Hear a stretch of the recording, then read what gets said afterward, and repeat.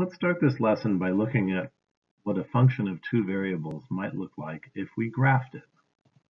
As you'll recall, this is what a function of two variables looks like. Here's an example. And what we've already seen in previous lessons is that we can plug x and y values into a function, do the PEMDAS, work out the math, and find the function value. But for graphing purposes, we could think of the function value as a third coordinate, sort of as a function coordinate, also sometimes known as a z coordinate. I could change this function to z equals if I wanted to. And now let's take a look at what this might mean to graph this point. If we were to graph all possible points in three-dimensional space, this function might have a surface that looks something like this. Now the colors in the grid lines aren't necessarily portions of the graph, they've just been added to help your brain see this object as a two-dimensional surface twisted into three-dimensional space. But to analyze more deeply what the point 4, negative 2, 52 would look like, we're going to look at our x, y, and z axis here and analyze these numbers. First of all, the point 4, negative 2 in the xy plane would be right here. And just to orient you properly, because this computer program has kind of turned this graph around, here's where the traditional x and y axis would be as you may be used to seeing it in other contexts. So we're kind of looking from far up in quadrant one back down at the graph here. And you can see here that that point in the xy plane actually is 4, negative 2. But what does the 52 mean? It means if we went straight up 52 spaces and found a point, that that would be on the surface of this graph with a z value or function value of 52. Let's take a look at one more arbitrary point. Let's plug in the point 3, 4, do the math, and we've got a function value of 33. So where is the point 3, 4, 33? Well, starting in the xy plane, here's the point 3, 4. Notice the way this program has drawn this picture. There's an x coordinate of 3 and a y coordinate of 4. And from that point, because the function value is 33, that means if we went 33 spaces up, we would arrive at a point whose z coordinate is 33 and is also on that surface.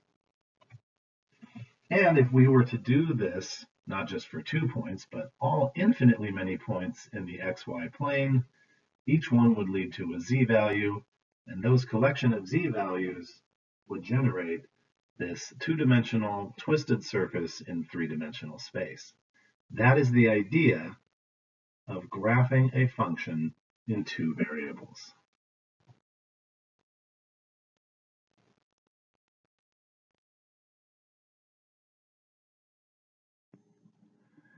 Now we're going to take a look at how to find extrema and saddle points. Extrema just means maximum and minimum points of a two-dimensional surface in three-dimensional space. Here's the example used to illustrate this. When graphed using computer software, this, surf this surface looks like this. And one thing you may notice here is that there, there appears to be a minimum point somewhere in this region. And there also appears to be what we call a saddle point here. Saddle point is a funny phrase, but it essentially means a point where the curve is flat, the surface is flat, but it's neither a minimum or a maximum. And you can see how this point would match that description. There don't appear to be any maximum points on this surface, but maybe there are somewhere else. We're not looking at the entire thing here. In order to find these things, we have to start by taking the partial derivatives with respect to x and y and setting them equal to zero and solving that system. Because it turns out anywhere that a function is flat, the derivative in the x direction and the derivative in the y direction are both going to be zero. So solving the system will find those points for us. So here's the original function. Here are the two partial derivatives. I recommend hitting pause just to verify. And now, if we set each one of those equal to zero, we will find our critical points. Here's the algebra that I used to solve this, this system of equations. Hit pause if you'd like to analyze that. And now that we've found the critical points, the next issue is to determine whether they're maximum, minimum, or saddle points. To do that, we need to get all the information about the second order partial derivatives. And we need to calculate something called the discriminant, or D. In order to calculate this, we first need the second order partial derivatives. Here they all are. Again, I recommend hitting pause just to verify the math.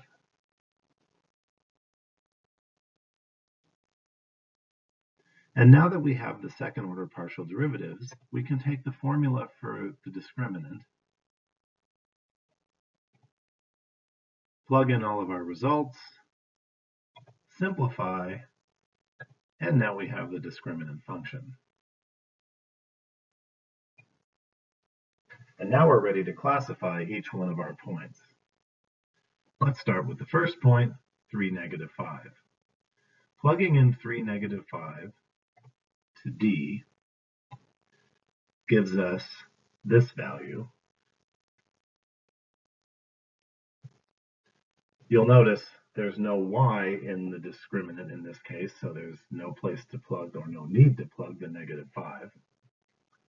But what you'll notice here is we got a negative result for D. That means that we have a saddle point.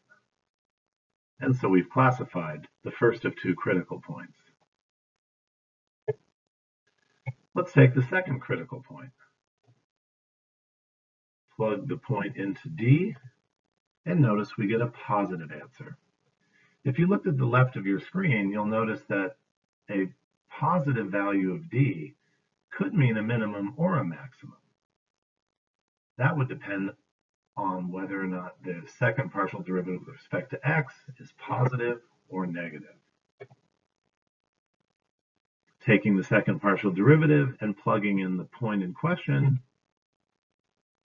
leads us to a positive second partial derivative, and therefore we can classify this point as a minimum.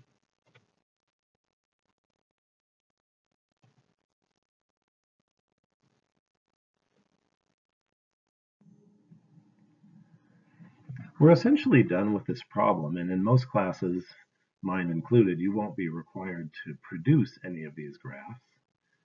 But even though we're done, it's nice to look back at the graph and see that what we found actually corresponds to something that we can see. For example, you'll notice here is the point I alluded to as a possible saddle point earlier, and this bottom point here in this portion of the graph is going to be a local minimum, but when you're asked to class, find and classify critical points, it's not enough to just say the x and y coordinates at which they occur. One also has to list the z coordinates so we know the physical location in space where they are. So what we'll do is we'll take the original function and we'll find the z coordinates. First we'll plug in the minimum I didn't show any, any arithmetic here, but when we plug in the xy value at the minimum, the z coordinate ends up being negative 89, work not shown, and that tells me where my minimum is in three-dimensional space. Likewise, for the saddle point, we could plug the x and y coordinate in. The result turns out to be 29, arithmetic not shown. And now we know the three-dimensional location of our saddle point as well.